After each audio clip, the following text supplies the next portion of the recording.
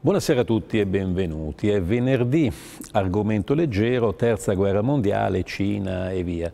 Eh, in realtà, ecco, mh, lo dico sorridendo, ecco, con serenità, non è la mia una teoria, un cospirazionismo, eh, un, uno scenario apocalittico, eh, una visione di signori occulti, di poteri occulti e di vicende quasi legate alla fantascienza, ma mi riporto a scritti di quotidiani internazionali, di quotidiani nazionali, di eh, organi militari, dipartimenti importanti internazionali che in un certo senso vedono una preparazione avanzata, diciamo, della Cina per una eventuale guerra mondiale questa volta basata sull'attacco batteriologico.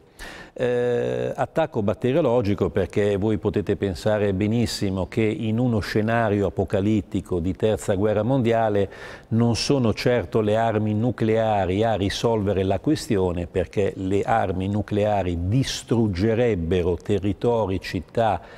milioni di persone e in un certo senso renderebbero inutilizzabili quei territori. Ricordate Chernobyl, avete appena visto anche il risveglio adesso di un reattore.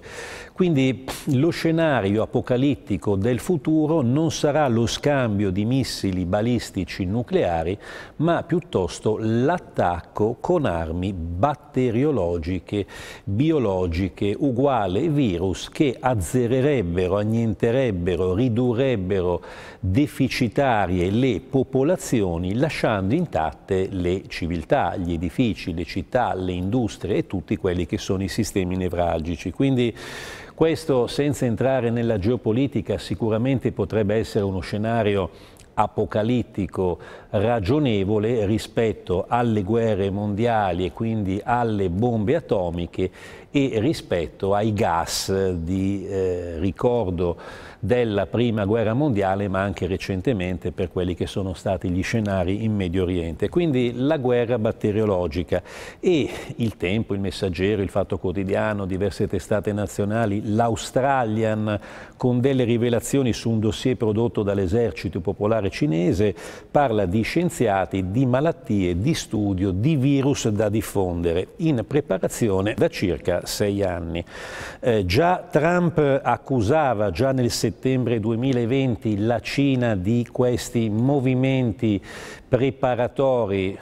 vorrei dirlo veramente eh, con scaramanzia ovviamente, preparatori a conflitti mondiali e anche l'Assemblea Generale delle Nazioni Unite veniva coinvolta insieme all'Organizzazione Mondiale della Sanità in che cosa? Non ovviamente in uno scenario apocalittico da terza guerra mondiale, ma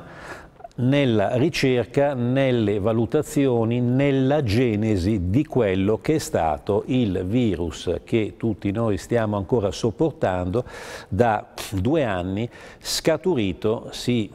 è detto in Cina, Wuhan, non tanto dal pipistrello o dall'animale morto e infettato, quanto da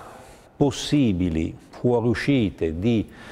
virus di eh, situazioni batteriologiche da laboratori incontrollate che poi si sarebbero diffuse. Ehm, versione ovviamente poi negata da ispettori che l'OMS avrebbe inviato e qui critiche all'OMS, critiche alla difficoltà che questi ispettori avrebbero avuto nel cercare, vedere, valutare, essere aiutati e quindi eh, poter dare una risposta chiara sulla genesi di questo virus, ma ecco, al di là poi della risposta che credo non abbiamo capito perché la Cina ovviamente nega tutto da sempre in qualunque momento, accusa gli altri reciprocamente, gli Stati Uniti, la Cina, la comunità europea, la Cina e non ne sapremo mai nulla. Però ecco, mh, tutti paventano questo scenario apocalittico lo fa anche il Dipartimento di Stato americano, eh, nei confronti di una Cina, ribadisco, eh, ritenuta comunque maggiormente preparata a questo rispetto agli altri paesi della Terra. Grazie.